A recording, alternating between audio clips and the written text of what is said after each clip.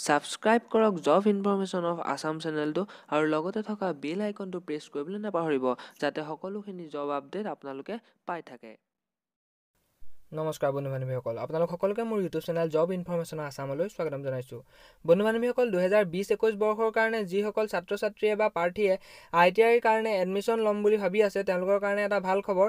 কাৰণ employment and ক্ৰাফ্টমেন training আছামৰ পৰা এখন নটিচ জাৰি হৈছে আৰু তাৰ মতে কৈছে যে এন চি বি টি আৰু এছ চি বি টি দুয়োটা পৰ্যায়তে প্ৰাৰ্থীসকলে এডমিশ্যন ল'ব পাৰিব। মানে প্ৰথমতে এডমিশ্যন ল'বলৈ আপোনালোকে ৰেজিষ্টাৰ কৰিব লাগিব আৰু ৰেজিষ্টাৰ কৰাৰ কাৰণে ডেটটো দিছে একৈছ আগষ্ট দুহেজাৰ বিছৰ পাঁচটা বজাৰ পৰা ত্ৰিছ আগষ্ট দুহেজাৰ বিছলৈকে আৰু আজিৰ এই ভিডিঅ'টোত মই আপোনালোকক সম্পূৰ্ণভাৱে ক'ম আপোনালোকে প্ৰথমতে কি কৰিব লাগিব আৰু কেনেধৰণে আপোনালোকে লাষ্টৰ পৰ্যায়লৈকে কাউন্সেলিং হোৱাৰ পিছত এডমিশ্যন ল'ব পাৰিব। গতিকে আজিৰ এই ভিডিঅ'টোত মই সম্পূৰ্ণভাৱে আপোনালোকক ক'ম। আৰু নটিচখনত আপোনালোকে দেখিবলৈ পাইছে ইয়াত কৈছে যে এন চি বি টি আৰু S C B T S C B T under I M C N C B টিৰ আণ্ডাৰ আই এম চি সকলোখিনি ট্ৰেডৰ কাৰণে মানে এই সকলোখিনি বিভাগৰ কাৰণে বিছ একৈছ বৰ্ষৰ কাৰণে প্ৰাৰ্থীসকলে এডমিশ্যন ল'ব পাৰে আৰু তাৰ কাৰণে মিনিমাম কোৱালিফিকেশ্যন টেন পাছ হ'ব লাগিব লগতে মিনিমাম বয়স হ'ব লাগিব চৈধ্য বছৰ। এক আগষ্ট দুহেজাৰ বিছলৈকে যাৰ চৈধ্য বছৰ হৈছে তেওঁলোকে ইয়াৰ কাৰণে এপ্লাই কৰিব পাৰিব। আৰু মই আপোনালোকক ক'লোৱেই যে ৰেজিষ্ট্ৰেশ্যন একৈছ তাৰিখৰ পৰা ত্ৰিছ তাৰিখলৈকে আছে।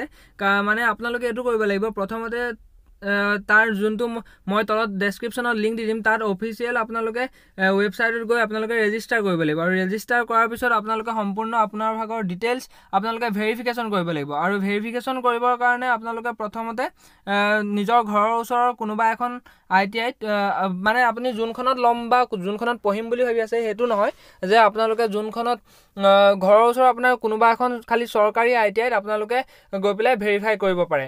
আৰু ভেৰিফাই হোৱাৰ পিছত আপোনালোকৰ নামটো ৰেজিষ্টাৰ হৈ যাব। আৰু ৰেজিষ্টাৰ কৰাৰ পিছত মই এখন আচলতে তলত লিষ্ট দি দিম আৰু সেইখনৰ মতে আপোনালোকে চইচ ফিলিং কৰিব লাগিব আৰু চইচ ফিলিং কৰাৰ পিছতহে আপোনালোকৰ কাউন্সিলিং হ'ব।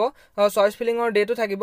তাৰ কাৰণে আপোনালোকে ৰেজিষ্টাৰ হোৱাৰ পিছত আপোনালোকে চইচ ফিলিং কৰিব লাগিব। মানে আপোনালোকে ক'ত পঢ়িম বুলি ভাবিছে কোনখন আই টি আইত পঢ়িম বুলি ভাবিছে আৰু কি ট্ৰেডত পঢ়িম বুলি ভাবিছে এই সকলোখিনি আপোনালোকে অনলাইনতে আপোনালোকে ছাবমিট কৰিব লাগিব। আৰু ছাবমিট কৰাৰ পিছত নিজে নিজে কাউন্সিলিং হ'ব। এটা কাউন্সিলিঙৰ ডেট আছে। কাউন্সিলিঙৰ ডেট অকল এবাৰেই নহয় বহুতবাৰ আহে। এবাৰত নাহিলে আপোনাৰ ছেকেণ্ড বাৰত আহিব ছেকেণ্ড বাৰত নাহিলে থাৰ্ড বাৰত নাম আহিব কিন্তু অহাটো আহিব।